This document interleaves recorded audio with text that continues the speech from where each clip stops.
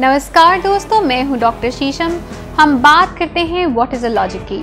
तो क्या है ये वर्ण? जैसे कि मैं क्षत्रिय हूँ, आप वैश्य हैं, बनिए हैं, वो शूद्र है, हरिजन है, वो ब्राह्मण है। तो क्या कारण है इस कास्ट सिस्टम का? क्यों इनको वर्णों में विभाजित किया हुआ है? क्यों लोगों को बहुत सारी कास्ट में विभाजित किया हुआ है और ये कहाँ से उत्पन्न हुई?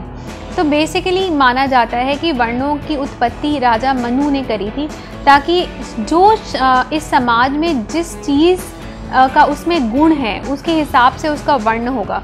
पर हमने उसको बहुत ही डॉगमेटिकली ऐसे मान लिया गया है कि अच्छा तू क्षत्रिय है तो अब आगे तेरा पुत्र भी क्षत्रिय होगा, और अब हमारी कास्ट ही क्षत्रिय है।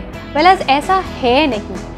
वर्णों का मतलब है कि जो मेरे अंदर का गुण है जिस चीज़ में मैं बहुत अच्छा हूँ उसके हिसाब से ये बांट लिया जाएगा कि आपका वर्ण कौन सा है आप क्या करते हैं आपको क्या सूट करता है।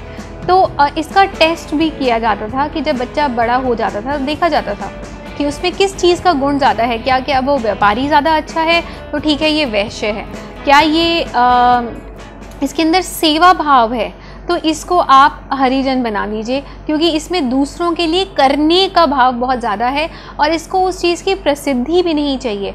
हम ऐसे देखते हैं, ओहो हो ये तो शूद्र प्रजाति का है या ये हरिजन है। पर एक्चुअली दोस्तों, ऐसा नहीं है। इसका मतलब है कि उस इंसान में सेवा भाव बहुत ही ज़्यादा है, उसमें करने का जज्बा बहुत ज़्यादा है, दूसरों के लिए वो मर मिटने को तैयार है और ये भी नहीं, वो देखता कि उसको उस चीज़ की एक्नॉलेजमेंट नहीं मिलेगी। और जो काम कोई नहीं करना चाहता वो एक हरिजन करता है, आपकी सोसाइटी को क्लीन करता है, आपके अंदर स्वच्छता फैलाता है, आपके को अच्छे, फ्रेश, नए जज्बात मिले, एक शुरुआत, एक अच्छी हो, ये होता है हमारा Harijan. At the same time मेरे अंदर लड़ने का, मर मिटने का जज्बा है अपने आधे देश के लिए, उसके बॉर्डर्स को प्रोटेक्ट करना चाहता हूँ, कुछ करना चाहता हूँ तो वो क्षत्रिय है। और जिसका दिमाग बहुत तेज़ चलता है, उसकी बुद्धि बहुत प्रखर है वो ब्राह्मण है। तो वर्ण बाय बर्थ नहीं होता या वर्ण इससे नहीं होता कि आप कौन से घर में पैदा हुए हैं या आपकी क्या प्रवृत्ति है। वर्ण आपके गुणों से निर्धारित होता है, आपके कैरेक्टर से निर्धारित होता है, आप में किस तरह की क्षमताएँ हैं, उससे वर्ण निर्धारित होता है। तो ये बात कि पंडित का बेटा, पंडित और क्षत्रिय का बेटा बेटा क्षत्रिय, ये तो हमने इवेंचुअली अपनी सोसाइटी से उसको बहुत ही डॉगमेटिक तरीके से बना लिया है या उसको हम एक पर्टिकुलर तरीके से देखते हैं। पर असली में वर्णों का ये मतलब है कि जो गुण मेरे अंदर है, क्या वो गुण उजागर हो रहा है? जैसे कोई छोटा बच्चा होता था तो उसके सामने चार चीज़ें रख दी जाती थी। एक भाला है, एक पेन है या कलम है, शूद्र की कोई चीज़ है, सफ़ाई की कोई आइटम है और व्यापारी का पैसा रख दिया जाता था। और बच्चा जिस चीज़ को उठा लेता था, यही माना जाता था, यही इसका गुण है, यही इसका वर्ण है।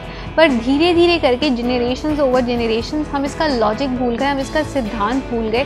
तो आज बहुत एक्सपेक्टेशन भी होती है पेरेंट्स की एक्सपेक्टेशन होती है, यार मेरा बिज़नेस है तो ये कर ले। अच्छा हम जॉब करते हैं, तुम ये चीज़ कर लो। तो हम ये स्पेस भी नहीं देते अपने बच्चों को कि वो चूज़ कर लें, कि अपने गुण के हिसाब से वो एक अलग फ़ील्ड चूज़ कर लें। और अगर बच्चा कर लेता है तो बहुत कम पेरेंट्स होते हैं जो उस चीज़ का सपोर्ट करते हैं।